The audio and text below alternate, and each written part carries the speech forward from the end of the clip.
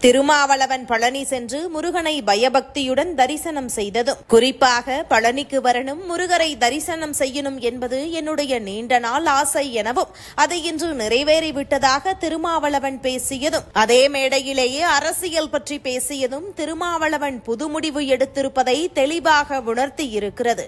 இந்தியாவில் பல பட்டியல் சமுதாய தலைவர்களை எப்போதும் பாஜக உயர்த்தியே இருக்கிறது. சமீபத்தில் கூட பீகாரைச் சேர்ந்த ராம்விலாஸ் பஸ்வான் மகன் சிராக் பஸ்வான் மத்திய அமைச்சராக பொறுப்பேற்ற போது கூட அவரை சந்தித்த திருமாவளவன் நேரடியாக அந்த புகைப்படத்தை பகிர்ந்து நானும் உங்களது தந்தையும் சமகால அரசியலில் வந்தவர்கள் என குறிப்பிட்டிருந்தார்.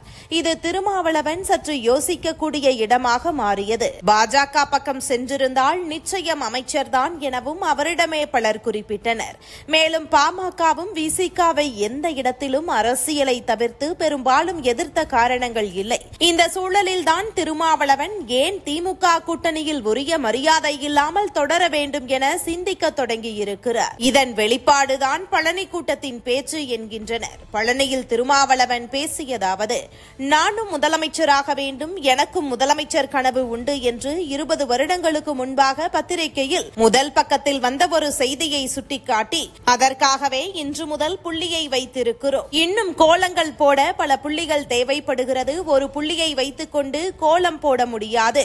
நூற்றுக்கணக்கான புள்ளிகள் வைக்க வேண்டும். அடியெடுத்து வைத்தவுடன் ஆட்சியில் வென்றுவிட முடியாது.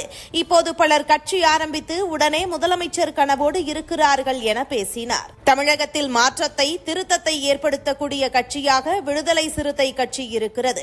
மகாராஷ்டிரா மாநிலத்திலும் சிறுத்தை கொடி பறக்கிறது. கர்நாடகா ஆந்திரா கேரளா தெலுங்கானா தென்னிந்திய மாநிலம் முழுவதும் சிறுத்தைகள் கொடி பறக்கிறது. இப்படி ஒரு நம்பிக்கையை மக்கள் நம்மீதும் வைத்திருக்கிறார்கள். நாமும் மக்கள் மீது வைத்திருக்கிறோம். அதற்காக கட்சியின் கட்டமைப்பை உருவாக்கி இருக்கிறோம். ஒரு சட்டமன்றத்திற்கு ஒரு மாவட்ட செயலாளர் என நியமனம் செய்திருக்கிறோம். எந்த கட்சியிலும் இல்லாத வகையில் புதிய பதவியை கொடுத்து கட்சியை வளர்த்து வருகிறோம் என்றும் பேசினார். பழனி முருகனை காண அதிகாலை நான்கு முப்பது மணிக்கு எழுந்து ஐந்து முப்பது முதல் கால பூஜைக்கு சென்று முருகனை காண மிக அருகில் அமர்ந்து முருகன் என்னை காண நான் அவரை காண என தனியார் திருமண மண்டப திறப்பு விழாவில் மேடையில் பேசிய திருமாவளவன் இதனை தெரிவித்தார். நீண்ட ஆண்டு காலமாக பழனியாண்டவரின் போகர் சித்தரால் உருவாக்கப்பட்ட திருமேனியை காண வேண்டும் என்று ஆர்வத்தில் இருந்தேன். அது இன்று நிறைவேறியிருக்கிறது. இன்றும் போகர் வழிபாடு செய்தேன். போகரின் வாரிசுகளான புலப்பாணி சித்தரின் வாரிசுகளை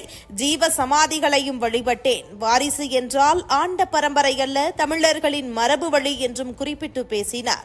இதன் மூலம் திருமாவளவன் இரண்டாயிரத்தி இருபத்தி ஆறு சட்டமன்ற தேர்தல் மட்டுமல்லாமல் இரண்டாயிரத்தி இருபத்தி ஒன்பது நாடாளுமன்ற தேர்தல் ஆகியவற்றை மையமாக கொண்டு காய்களை நகர்த்தி வருவதாகவும் எது வேண்டுமானாலும் எப்படி வேண்டுமானாலும் நடக்கலாம் என்பதால் திமுக தலைமை எது போன்ற முன்னேற்பாடுகளை செய்வது? கூட்டணியில் எந்த மாதிரியான முடிவை எடுக்கப் போகிறார்கள்?